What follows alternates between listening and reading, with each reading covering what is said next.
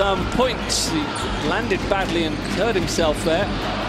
But Claver well improvised, and Sanders is going for another slam, and oh, that's just explosive from Sanders. Claver enjoyed it as well with the assist.